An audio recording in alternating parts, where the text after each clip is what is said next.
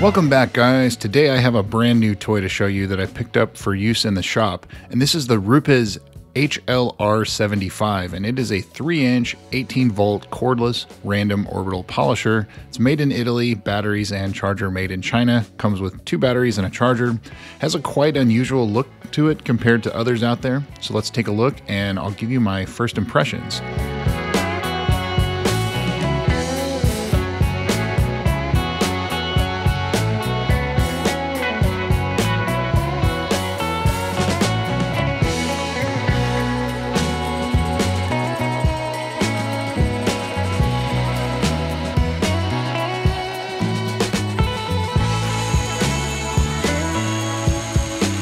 Not have a variable trigger. It's basically on or off.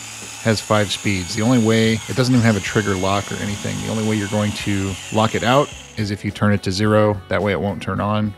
The battery does have a charge level indicator. As far as the hand grip goes, it's quite unusual.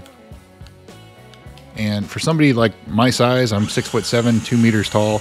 I I have pretty big hands. It doesn't quite fit my hands very comfortably, but it is very light and it does seem to have a lot of power. So we will, of course, put it to the test.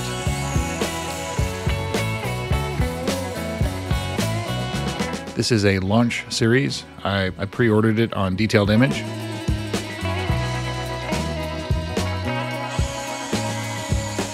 Very, very sensitive trigger.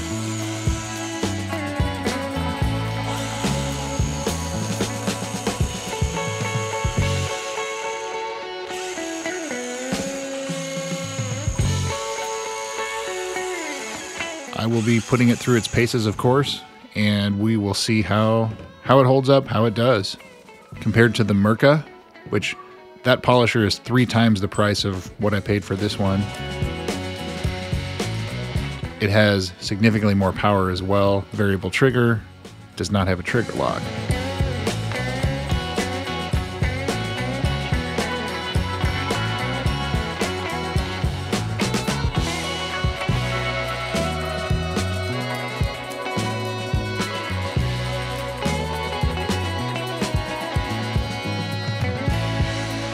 If you do want to pick one up, I will leave a link in the video description for Detailed Image or Amazon, either of those, if you want to pick one up.